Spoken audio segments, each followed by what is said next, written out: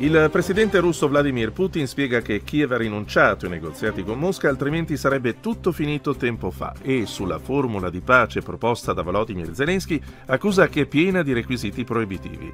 Dal Forum economico mondiale di Davos Ursula von der Leyen sostiene che la Russia ha fallito perché non ha raggiunto i suoi obiettivi strategici e che l'Ucraina può vincere. Una nave mercantile di proprietà greca è stata colpita da un missile a largo dello Yemen, lo ha riferito la società britannica di sicurezza marittima Ambri.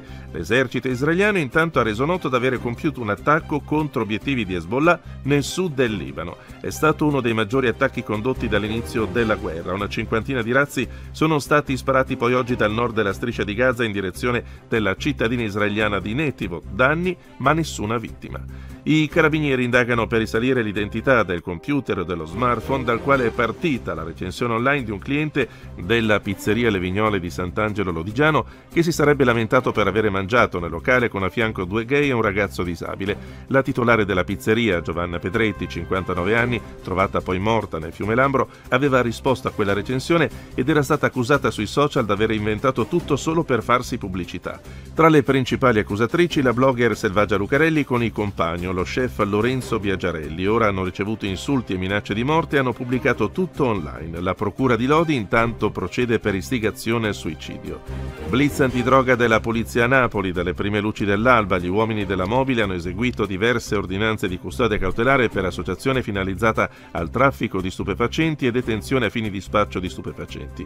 Nelle stesse ore un altro blitz contro il narcotraffico internazionale dei carabinieri e della DDA di Napoli ha permesso di sgominare due associazioni delinquenti pecore che importavano droga dall'Olanda e dalla Spagna per le piazze di spaccio più fiorenti del napoletano, tra cui quella del Parco Verde di Caivano. Complessivamente sono state eseguite 29 misure cautelari. La crisi climatica potrebbe causare 14 milioni e mezzo di morti entro il 2050, lo sostiene un'analisi del World Economic Forum in corso a Davos, secondo cui i disastri naturali, aggravati dal clima, potrebbero portare anche a perdite economiche per 12,5 trilioni di dollari. Sono inoltre segnalati costi aggiuntivi per il sistema sanitario, pari a oltre mille milioni di dollari.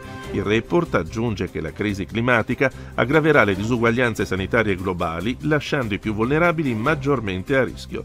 La corsa alla Casa Bianca, l'ex presidente Donald Trump si dice rinvigorito, onorato dopo la vittoria in Iowa dichiarata da alcuni media in base alle proiezioni. Mi sento molto bene e sono onorato da un annuncio di vittoria così anticipato, ha sottolineato. Dobbiamo riprenderci il nostro paese, ha aggiunto. Questo è il momento per il nostro paese di tornare unito, che siate repubblicani e democratici, è il momento di stare insieme e risolvere i problemi.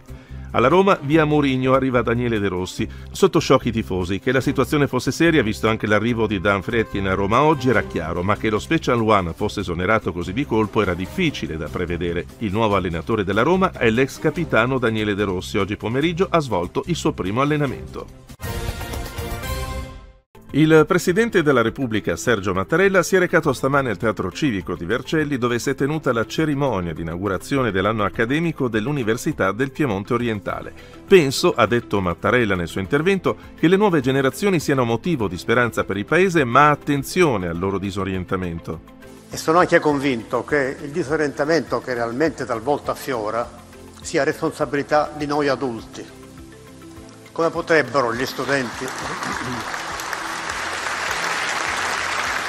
come potrebbero sentirsi a loro agio, trovare parametri di riferimento, coordinate di comportamento nel mondo che oggi gli adulti presentano loro in questo periodo.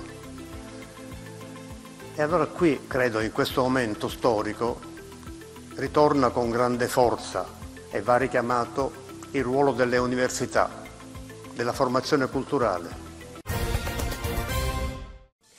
Bentrovati da Nico Schiodetto, previsioni per la giornata di mercoledì quando una perturbazione dall'Oceano Atlantico raggiungerà tutta l'Europa occidentale.